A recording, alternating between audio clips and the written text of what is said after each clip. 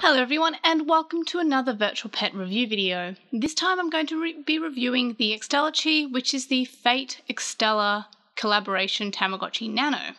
So you can see that because it's a Tamagotchi Nano, I have my trusty Nintendo Switch stand here, so I don't have to just be holding it the whole time. But you can also see that I have a uh, the the death scene. So, because I haven't actually touched this for a few months, I got distracted moving, so I wasn't able to ever do a review video, so I've just kind of left it like this. So we could start a new uh, quote unquote egg while uh, we're doing this review video. So I think it's A and C, no A and B, no B and C, yep, B and nope, that's the time. How do I reset it?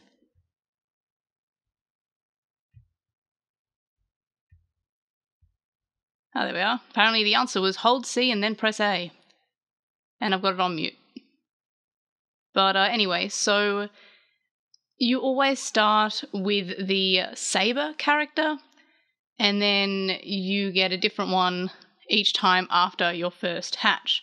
So that's sort of the reason why I didn't take the batteries out and I just kind of left it sitting there until I could uh, do the review video, because otherwise I'm just starting with Saber again because I already already had her, and you know, Saber's great, but we're uh, we're doing it on a different character now, and because I'm still unfamiliar with the characters, no idea who this is, but I kind of like his little winged hat and his little moonwalk that he's doing. I'm very there for that. Anyway, so on to this virtual pet. It's pretty standard in terms of the Tamagotchi Nano, and I always give all Tamagotchi Nanos a an ease of use rating of 10 out of 10 because they're just so easy to take care of.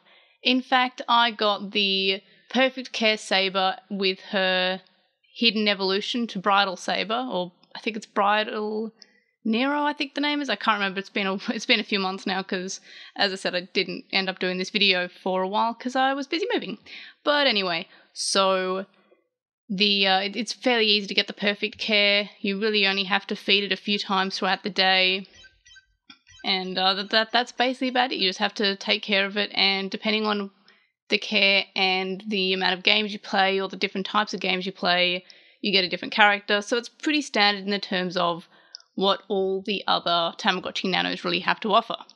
However, there are a few interesting features, and that is what I mentioned earlier with the fact that you get a different type of uh, of character each time you play yes, you're guaranteed the Saber character when you first start off, but when you have it reborn, like I just did, the character will be sort of randomized to a, a list. So while that means that the roster feels shorter eh, or lesser than, you're actually rolling a different character each time.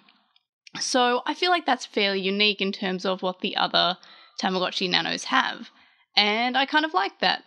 Of course, you know, the games are fairly straightforward in terms of the all the games on the Tamagotchi Nano. There's really only a, a few different kinds. And this one's the button mashing one, which I've it seems to be on all of them, but this is the the game on this one. Where it's not button mashing, it's uh you've got to put the but that's like a timing game. That that's how I could uh, refer to it as. It's the same as the Eevee dance game.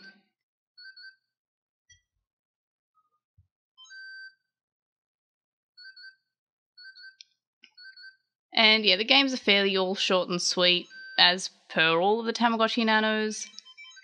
And uh, so it's easy to do a perfect game to get your little character to be happy. And of course, the thing, the other thing I like about the Tamagotchi Nano is that when you press C, you get a sort of close-up animation, which just gives you like a detailed look of the character.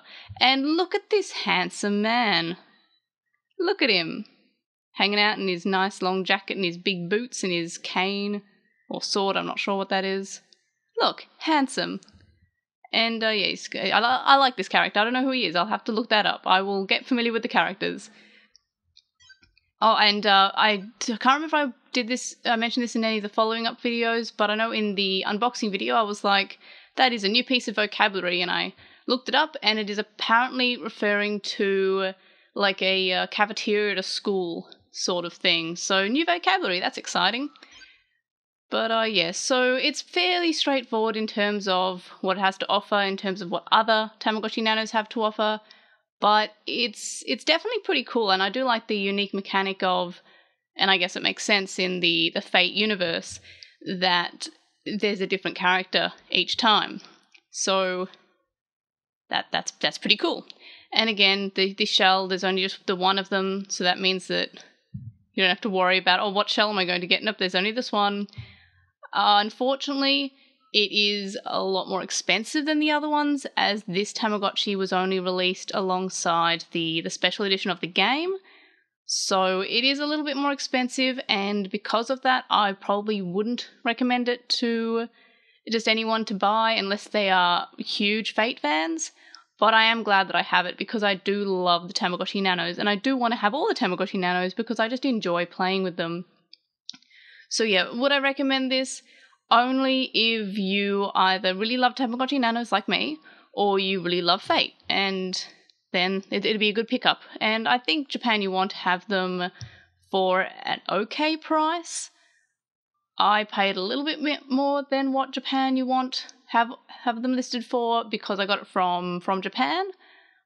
Because, as in the website from Japan, like the proxy service, not actually. I got it. Like I guess it's technically I got it from Japan too. But anyway, so I I'm fairly certain that Japan you want still have them available if you want to pick that one up. But they are like I think twice as much as the other Tamagotchi Nanos cost. So keep that in mind. But they are fairly cool, and I do adore the shell. I, I'm a big fan of the blue coloring there. And yeah, so that's basically all I have to say. So I already gave it the standard Tamagotchi Nano ease of use rating of 10. And for enjoyment, I'm also going to have to give it a fairly uh, Tamagotchi Nano standard of 9 out of 10 because I liked it. Of course, it wasn't like it's not you know the perfect one because I can't. I'll, look if I had it my way, I'd probably give every single one of them a ten, but I I can't just give tens all the time, and I have to make sure I only give tens to very specific ones. But uh, yeah, I, I do like this. It's fairly cute, and that's pretty standard for a Tamagotchi Nano. Honestly, they're all fairly cute, and I'm a big fan of all of them. So that was it for the Extellatchi. Do you have this one? Are you interested in getting this one? Let me know in the comments and let me know who uh, who you've been able to raise on this little guy. So anyway, thanks for watching this video and I will see y'all the next one. Bye! So just quickly, something I forgot to mention when I was recording the video for this is that first of all, the pooping sort of equivalent is that your character will get kind of glitchy and you have to clean that, so that's pretty cool. And also, and this is probably something you may have picked up at the start of the video when I unmuted the Extellatchi, but the sound on off display is sort of a little bit more unique, similar to the Avachi one and a few of the other ones, instead of just a simple on or off, or in the case of the Demon Slayer Tamagotchi, a uh, speaker with sound coming out and a speaker without sound coming out. This one sort of has a nice unique detailed display, so that's fairly cool too. But I just thought I'd mention that before I upload this episode.